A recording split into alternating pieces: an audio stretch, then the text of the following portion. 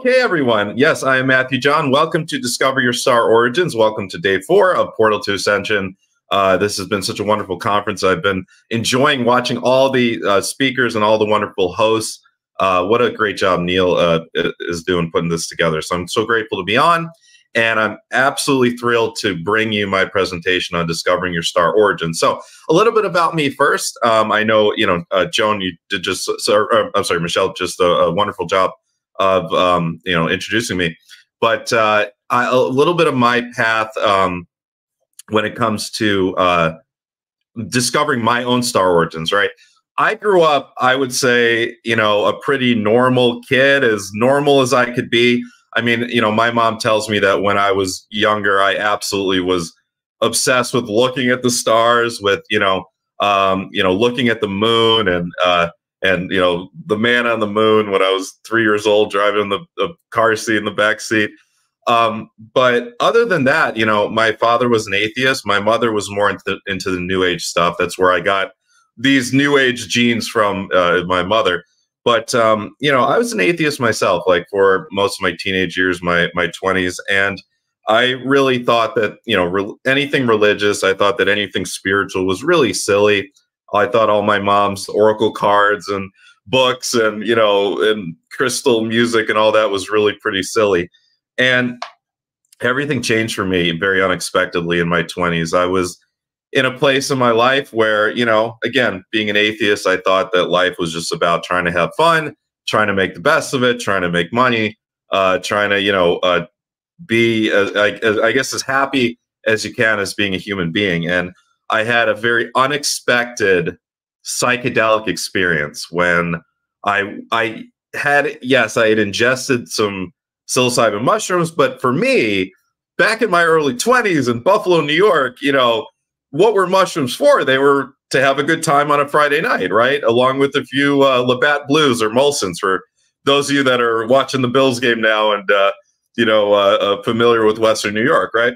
So for me, it was just kind of a party thing. But on one kind of fateful Friday night in uh, September in Buffalo, New York, I had ingested some mushrooms and I felt a way. I I remember being in a bar and I felt in a way that I had never felt before, and I was like, "Whoa, this is different. I can't be here anymore." And I left the bar and I just started wandering the streets. Those of you that know, I believe this was uh, around UB South Campus. It was uh, it was that area, and I just started wandering through the streets of Buffalo and then I just started feeling not that I was wandering, but I was actually being led. And it was the weirdest feeling. I was like, you know, 22 years old. I never experienced anything like this before. And I said, you know what? Okay. And I kept being led. It was almost as if my there was like a string on my heart and it was pulling me, right?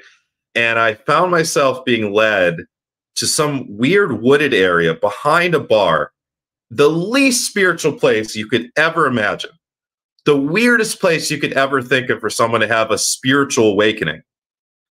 And there was, it was a circle. There was a tarp where it looked like homeless people had been. There was a uh, you know bunch of beer cans looked like looked like teenagers had been there partying, and I was pushed to the ground by this force far greater than me.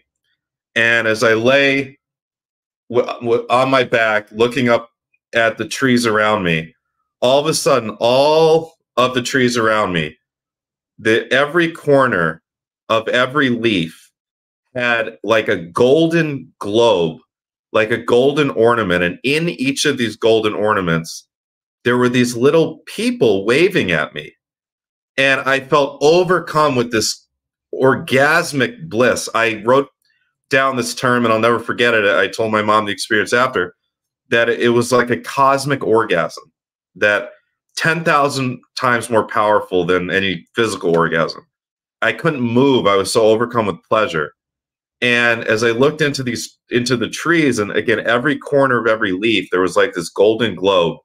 There was a little being there waving at me in each of these, and there were hundreds of these. And I recognized in that moment that, whoa, these are different versions of myself. And I felt that in that moment, some of these versions of self were from other lifetimes on Earth.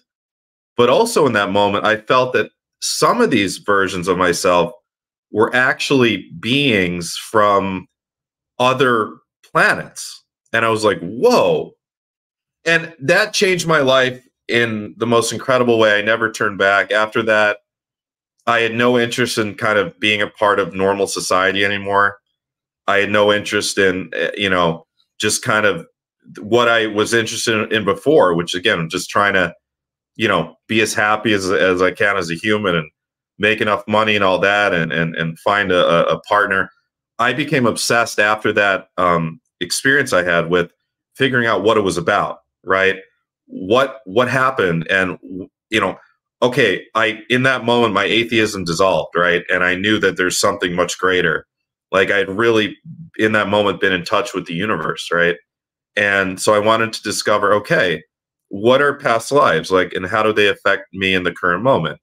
What are lives, these off-planet lives, right? What are these um these lives that I've had on other planets? How's that even possible, right? Because it seems so weird. Like, really, I can actually come from another planet to here. What? Right? So I became obsessed with figuring out all of this. Fast forward a couple years, I had another experience that again, I have to thank.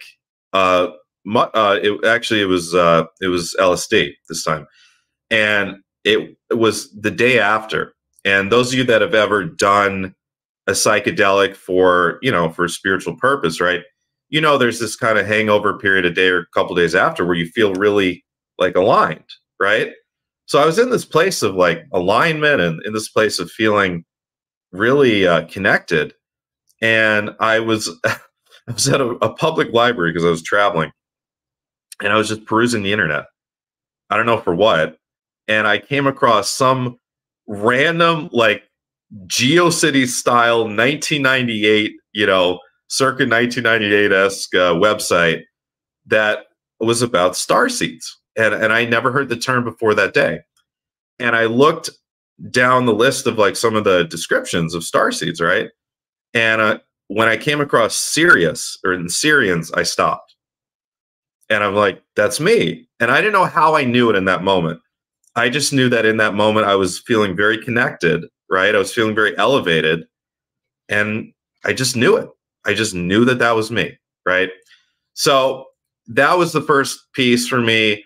Later on, I had a visit from, uh, I was in my parents' home and I came out of the shower and I turned around. And behind me there was a blue avian extraterrestrial. And I know if I was on any other network other than this network or Alan's network or or Jones network or you know uh, Jeff Mars network, people would you know think I'm mental, right? There was a blue avian ET behind me. It, he was in his astral form. He was about eight feet tall, giant wings, and he was just looking at me. And I felt that feeling again of just being overcome by bliss, right? And I knew in that moment, oh my God, this is why I've always been obsessed with airplanes. Like when I was, uh, I don't know, five years old, like, you know, I, my mom and I would always travel to see relatives and we would, um, you know, we would, uh, always get to visit the cockpit, right? You know, back, back in the day, you could bring your kids up in the cockpit. I would be just amazed at all the controls and everything, right? They give you the little wings. I, I realized why I always like dreamed of, about being a bird, right?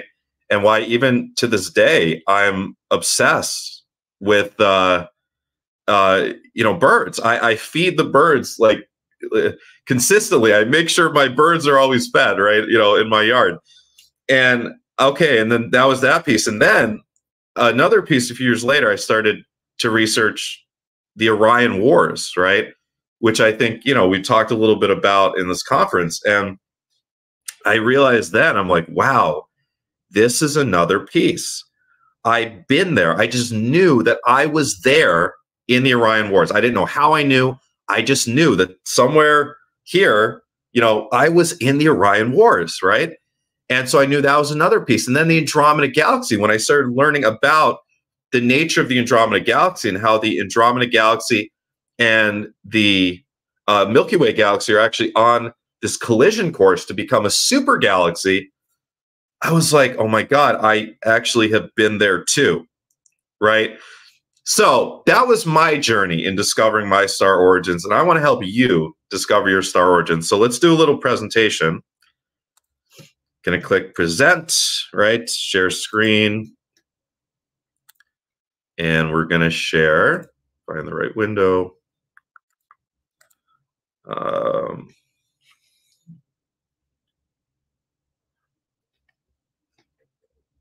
Best way to do it, Matthew, is share entire screen.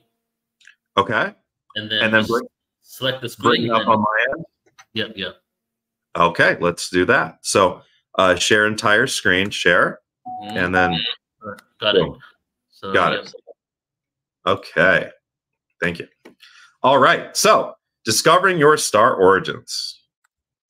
Okay, a little bit about the difference between Earth seeds and star seeds because there absolutely is a difference. Okay, not everyone is a star seed. You know, it's very likely that most people, or maybe even all people that are watching this call, are star seeds, right? Watching this uh, this conference, but um, it's it, there's probably a few of you that are Earth seeds. The difference being an Earth seed. The other term for an Earth seed is an organic consciousness, and an organic consciousness is a soul that originated in the Earth realm, was donated from the planetary consciousness of Earth itself. Earth is a conscious being. Just as a woman, an Earth woman, can give birth to a brand new human, Earth herself can give birth to a brand new soul. How fascinating is that? Any planet that is at a, you know the requisite frequency can give birth to a brand new soul. Any star system can give birth to a brand new soul. Any galaxy can give birth to a brand new soul. So if you are an earth seed, it means your soul was born essentially here in the earth realm. Your soul then elevated through the vibrations, through the dimensions. Okay.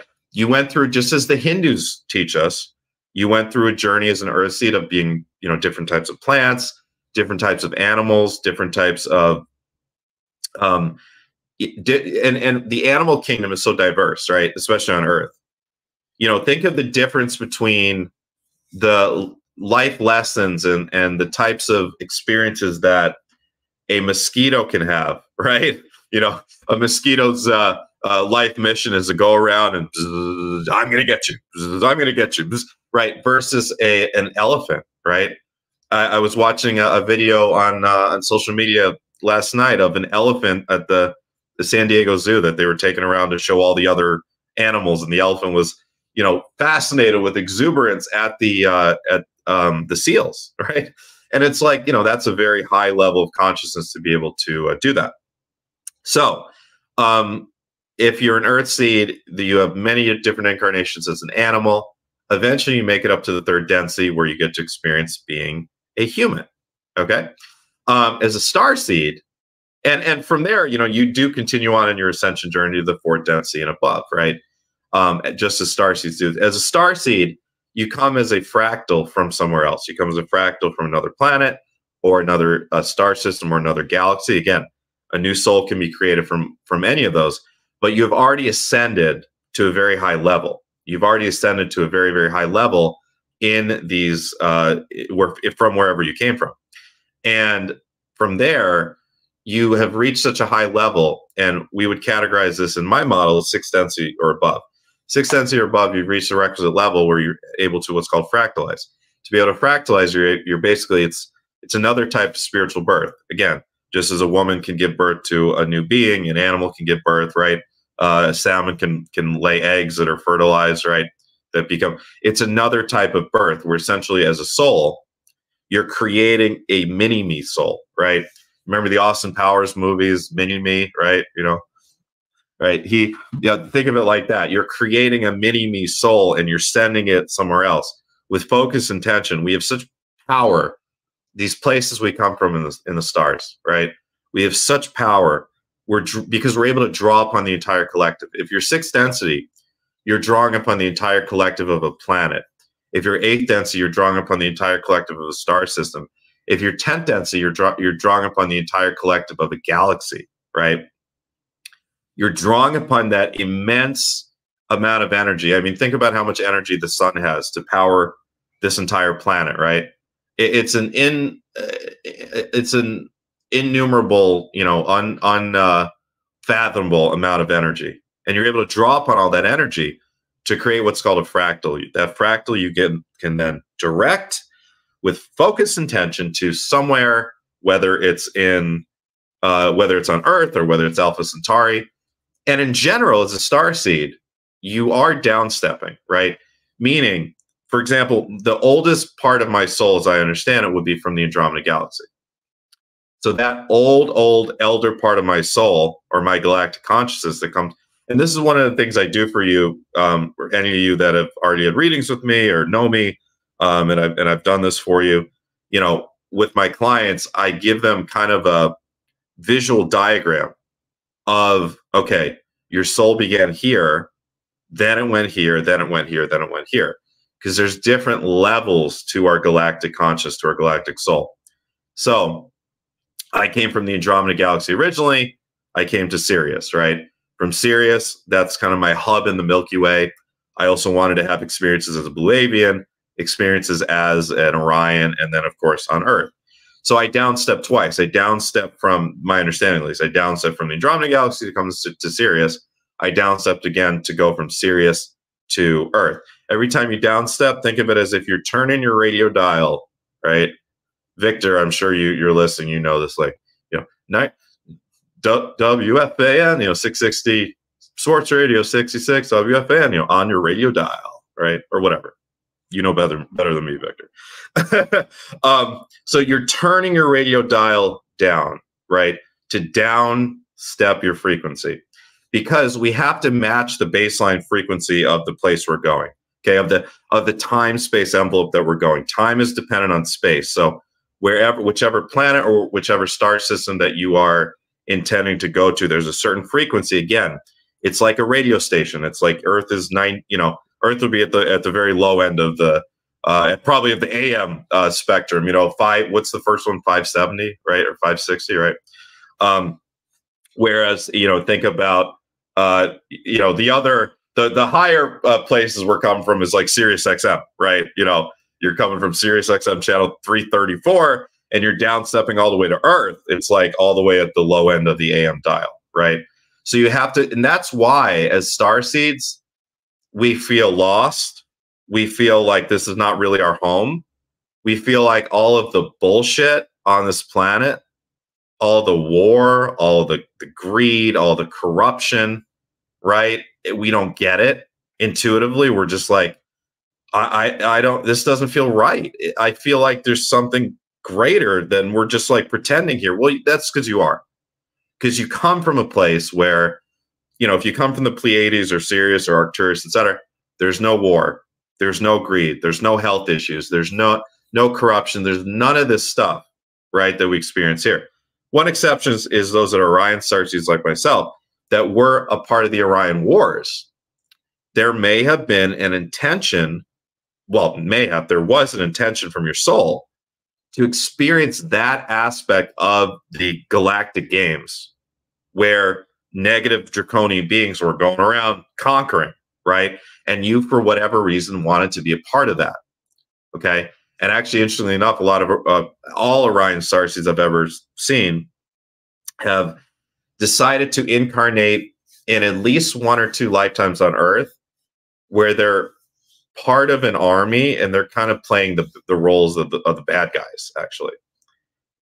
They're playing the roles of the bad guys because they and and also then you know i i remember um my first past life regression which happened shortly after i had this experience that i you know uh when when told you about at the top of the hour here um top of my talk uh, you know shortly after that i had my first past life regression. And i saw i was in um in in kazakhstan and my you know in like ancient mongolian times and my village was raided.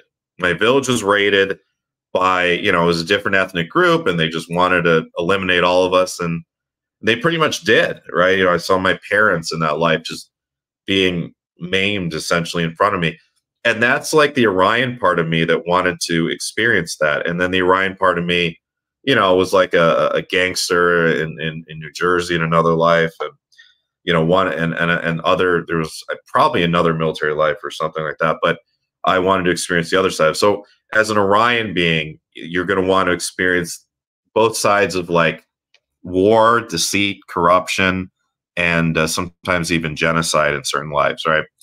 Anyways, um, there's a specific reason why you pick the lifetimes you do on Earth, and a lot of it does have to do with your your experience, your karma as a uh, as a star being, okay, as a galactic being. Um, why do many Milky Way star seeds? Yeah, okay, can you be from more than one place? Absolutely. How and and I would say about you know I I've been focusing this topic as one of my two main areas of research for the past decade. The other main area of research is uh, the soul plan, and I also like to see how they, as I was talking about, how they kind of kind of intertwine. About half of people I found are from one place, and about half are from many places. Okay, why many Milky Way star seeds originate from the Andromeda Galaxy? Why many star seeds originate from the Andromeda Galaxy? Well, the reason being is because the galaxies are on this collision course to merge with one another. Okay. To merge with one another and become a super galaxy. It's the next step in the Milky Way's evolution. It's the next step in the Andromeda Galaxy's evolution to merge completely together. Because of that, a large portion of beings in the Milky Way are actually the soul, your soul originates from the Andromeda Galaxy. Star seeds and soul groups. You might have heard that most um, of most Earth beings, if not all, have a soul group of 12. And on another level, that is you. You are your soul, but you're also the soul group. And those of you that are the light workers and awakenings and star seeds, a lot of you basically are on the leading edge of your soul group. You're the ones pushing the soul group forward. You're pushing the evolution of the soul group forward, right? And in general, star seeds, okay, want to conglomerate group into these soul groups of 12.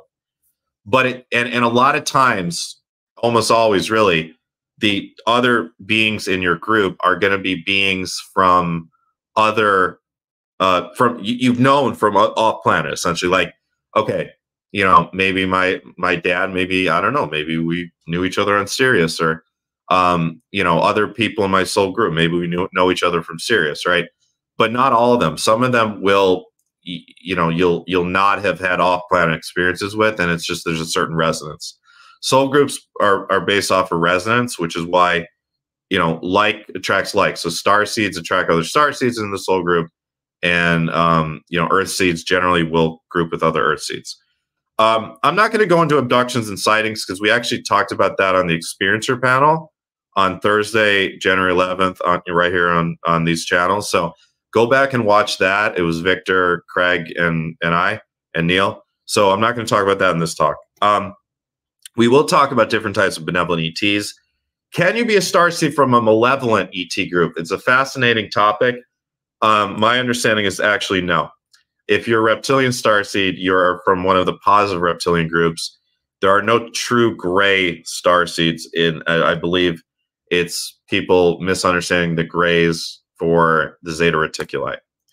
Okay, I talked about earth seeds and star seeds. Okay, the densities. This is adapted from the channel work of my very good friend Todd Deviney. Okay, Todd Deviney. Uh, you can go and uh, if you want to check out his books, they're called Expansion for Ascending Consciousness, also on my YouTube channel. I um, oh, this will be good motivation for me to repost. YouTube took down the first like epic three hour collaboration between Todd and I for, you know, I don't, you know, what they thought we were talking about the pandemic or something, right? But um, I'm going to repost that. This will be good motivation for me to repost that now that you guys are seeing this. So the second one is up there though. Um, I'll be creative. Uh, I'll, I'll, post it under a different name. Anyways, um, this is adapted from his work. He's a dear friend of mine. I love him to death. Uh, first density, I talked about single cell. Mar- oh, well, here here's it works more clearly. First density, single cell microbial life. Second density, plants and animals. Third density, more advanced animals. Again, larger frontal frontal lobe. Think your dogs, your cats, your gorillas, your you know monkeys, your uh, giraffes, etc. Uh, fourth through sixth densities, increasing levels of merging with the planetary consciousness. Where are we go right now, where are we at on the planet? You know, you you might want to think we're in the fifth dimension. We're not. We're in, we're in the third. We're in the third density and dimension, right? We're heading towards the fourth density slash fifth dimension. The fourth density and the fifth dimension are the same thing. We're headed there. We're on our way, right? And you can also break down the densities into octaves. Okay, you can break them down into like musical octaves 3.1, 3.2 through 3.7. All right, as a planet, we're still probably at that 3.1, 3.2 range. Fast forward 10 years from now, we might be 3.4, 3.5. Fast forward 30, 40 years, maybe we'll all the, we'll be at 3. Point, you know, 6 and getting ready to uh to go into the next um the next density itself, the fourth, right? At the fourth density, it is uh, you know, increase it's a true uh, service to other consciousness. It's a true um all are it right, you know, separation consciousness is the marker of the third density. I'm a person, you're a different person, you're a different person. We're all trying to get ours. We're all trying to compete for resources. That's the marker of the third density, third dimension, right? The fourth density, fifth dimension is that I am you, you are me, and we're all in this together. Let's operate as one planetary body. And you can see, right, right now we're in a place where governments don't necessarily do what is really good for the people, do they? Well, you get to the fourth density. Now, because we're all operating from this consciousness of I am you, you are me, and we're all in this together. So let's all do what's best for each other. Well, all of a sudden, governments then have transformed into for the people, truly for the people, right? But we're not there quite yet. Fifth density is then going to be a an ascended uh, version of the fourth density, where a more ascended version of the fourth, where actually now you have a holographic body instead of a physical. Fourth density, you're still physical. Okay. Fifth density, you might appear physical, but you're holographic in nature. You have no organs. Okay. Sixth density is a planetary consciousness. Okay. At that point, you're both an individual and the collective. At any point, or it, you can either take, at any point in time, you can either take the perspective of the individual or of the planetary collective itself, or both simultaneously.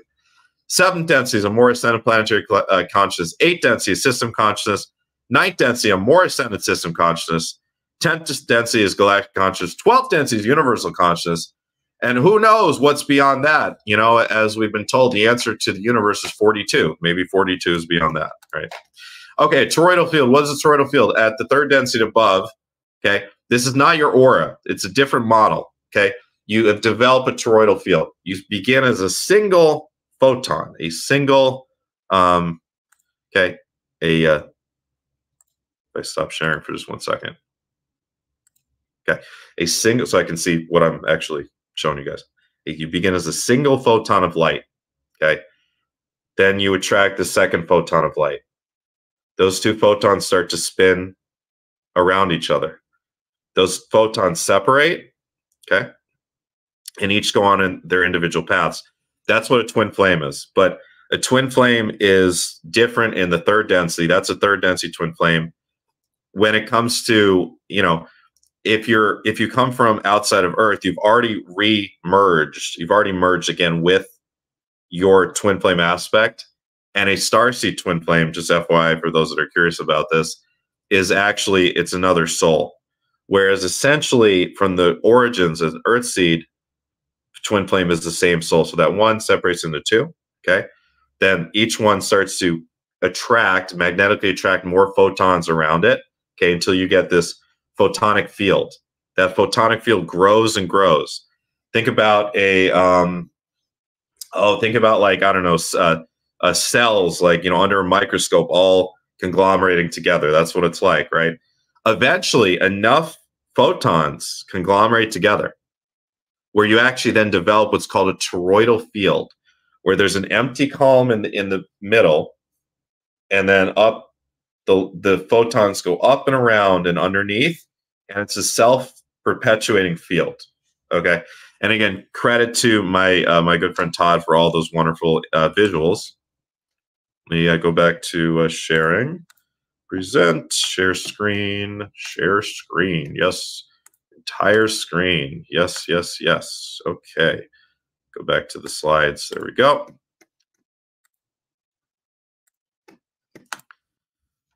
Okay, what does it feel like to fractalize? Whoa, what what an amazing experience, right? Someone's seen it as going through a portal. Seems like a conscious spiritual process that requires a lot of training. So, what I was shown many times is like a, a vision of me being on Sirius, like basically in this theater, in this amphitheater, and there was a teacher in front that was presenting like you know, here we're using this ancient technology, right? I've got a green screen and uh, I, I, I don't even want to pay Microsoft. So I'm using, you know, Office Libra, right? The free version, you know, because F Microsoft. But, um, anyways, I saw, I saw a vision of like, okay, you know, I'm in this theater and on the stage, there's this teacher presenting like using holographic models, like 3D holographic models, like R2D2 was trying to show Princess Leia, right? And uh, and, and you know he, he kept messing up, and you know, think Le- if Leia would have just hit him harder, would have. Well, it was Leia and, and it was the young Obi Wan, right? They were trying to get the R2D2 to work so they could show. I got to watch Star Wars again, but um, that's what I saw. It was like this holographic projection, and they were teaching us they were training us, preparing us how to be star seeds, like how to how to go to a different planet. And we all had kind of like information in front of us. Again, not like this ancient technology here where we have an iPad. It was like this holographic piece of technology with, with all these images and information about Earth itself that we were kind of looking at as we got prepared to go to whichever planet we were going to go to. Like the woman next to me wasn't going to go to Earth; she was going to go somewhere else, right in uh, in the Milky Way. So uh, we get it, we get trained to do it because it's a it's a very difficult process, and you know why why do we like feel so lost as star seeds here? Because we miss home. Part of it is missing home, right? We look to the stars, and and we you know why do you think I'm so obsessed with the stars? Like we look to the stars and we're like, wow, it feels so much more comfortable there than here, right? Because we're on an away an away team journey. Remember in Star Trek, you know, they they beam down, you know, uh, on the away team, right? And then you know, Scotty, you know, right? Um, that's what that's what it's like. We're on this away mission, so of course we miss home, and so it's not easy to come from Sirius or to come from Pleiades or Arcturus, et cetera, and come here.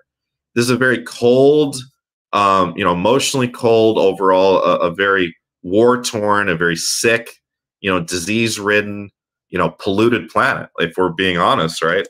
So it's not easy to come here. But why do we come here? We come here for a couple of reasons. We come here because we want to experience what it's like to be in duality. So we're coming from places where we've overcome, we've overcome the need for disease karmically. We've overcome the need for war karmically. We've overcome uh, the need for, you know, any uh, lower vibrational experiences of fear or of abandonment or of conflict. We've overcome all that.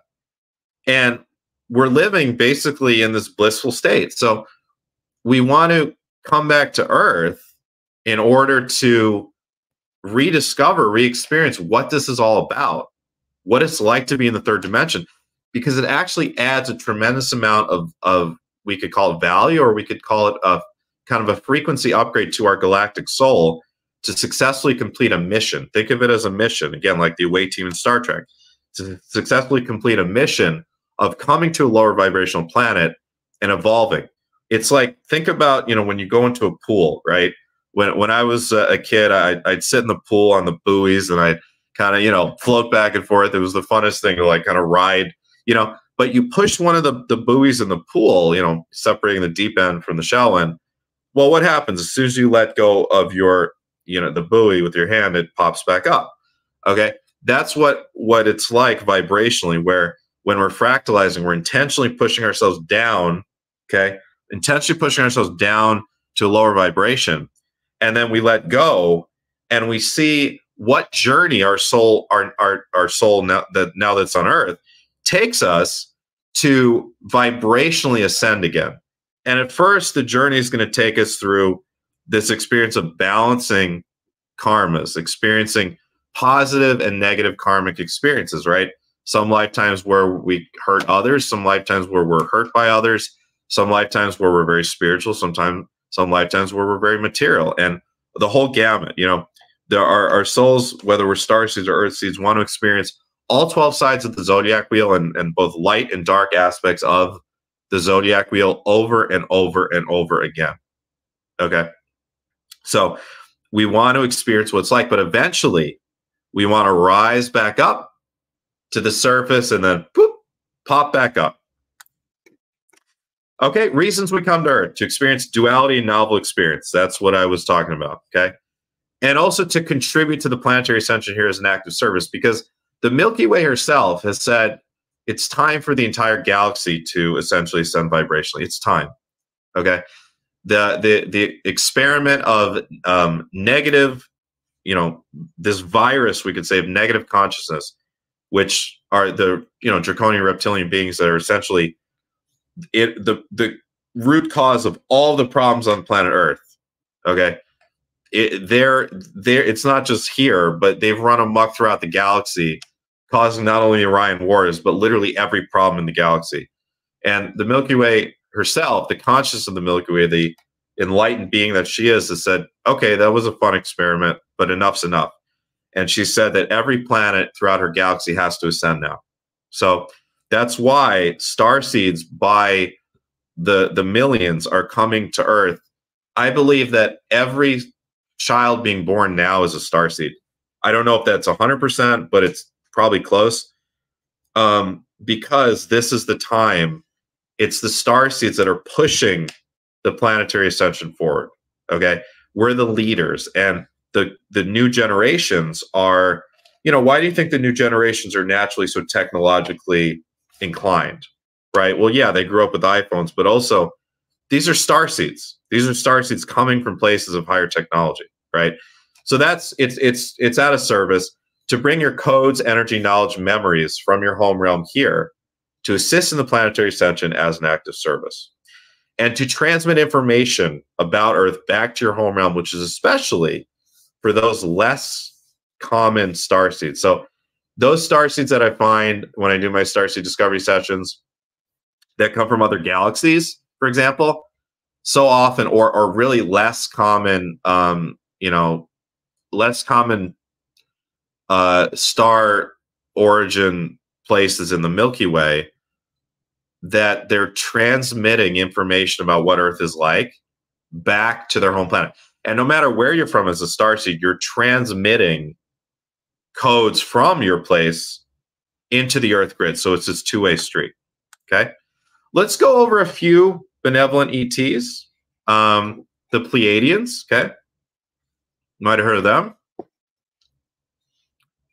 They come from the seven Pleiadian sisters in Taurus, right? What do they look like? They're tall, fair skin, blonde, silver white hair, piercing blue eyes. Like if you ever saw a Pleiadian in, the street, you, it would be unmistakable because you would just see these piercing, piercing blue eyes that would like stare into your soul essentially. And you would just know that this is not an Earth uh, being, right? They're friendly, they're loving, they're welcoming on their planets. They have these very tight knit communities, okay? They are really into community farming and schooling. They like living in Earth homes. Uh, there's some cities they eat fruits and nutrition drinks. They live a very long time. They step into a new regenerated body halfway through, okay, and they have a conscious death experience. For Earth, they've helped to direct souls towards Earth from Orion's belt. They've saved people from the Atlantean catastrophe. They were a big part of that.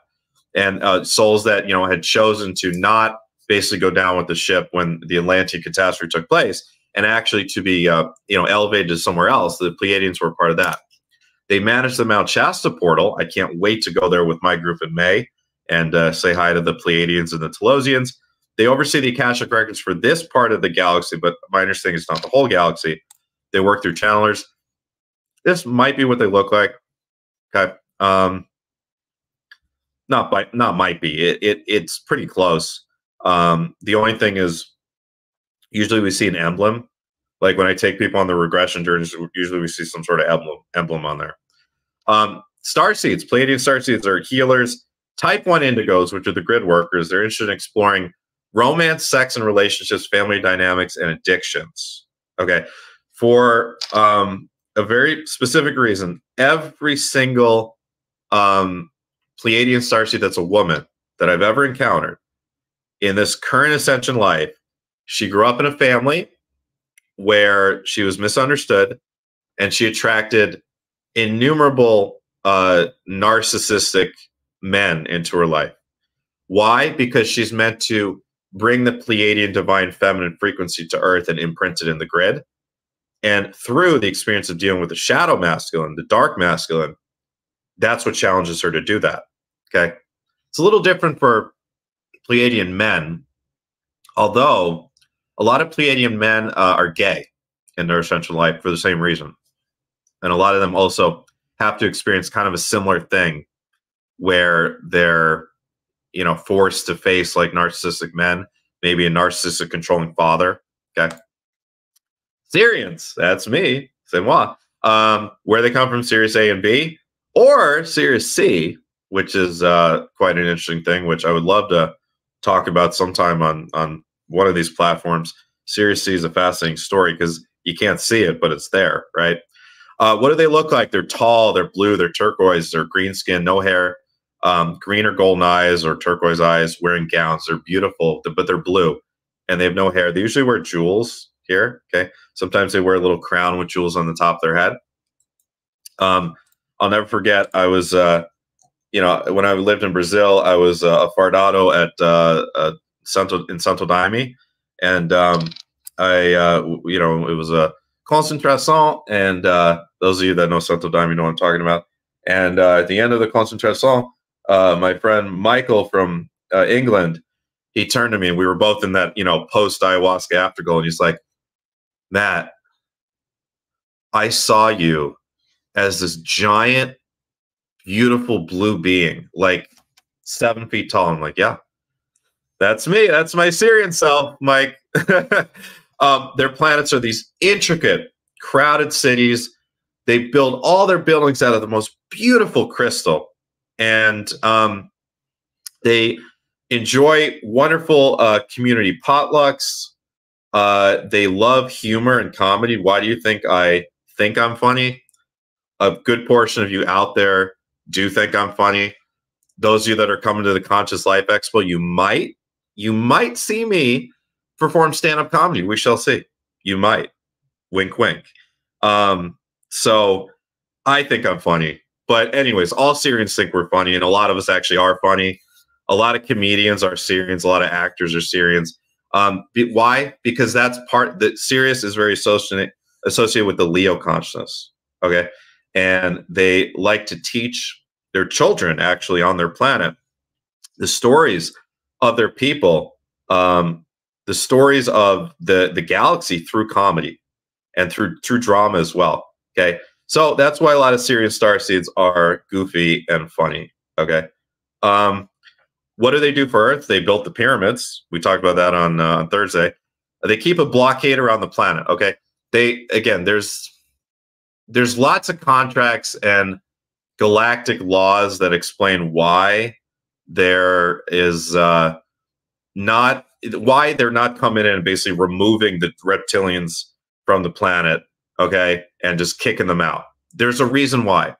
The reason is is because it would uh, it would tinker with our karma in a, a negative way, in a way that would re reverberate and actually have it would leave like a long lasting negative karmic imprint on us as a human collective if they were to interfere too much. The Pleiadians made the mistake of interfering too much in um, Atlantean times and it backfired. So none of the benevolent ETs are are actually directly tinkering with Earth affairs.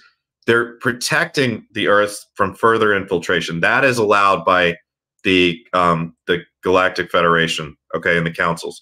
The Sirians are in charge of that. The Sirians have a blockade around Earth to protect the Earth from any further infiltration from negative beings. Okay, they transmit energy through uh, crystal deposits. They work through channelers like myself I direct channel the um, I direct channel the Sirians. They are incarnated and involved with whales and dolphins. Um, star seeds are like they uh, again they're funny or they think they're funny, right? They're attracted to water.